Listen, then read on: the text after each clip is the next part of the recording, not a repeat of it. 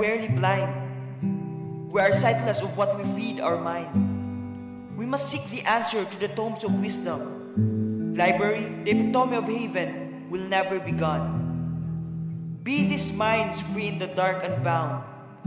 Let our puny voices speak aloud. As these shelves hold the future within, and the flourishing of pages will now be seen. Walk through the door.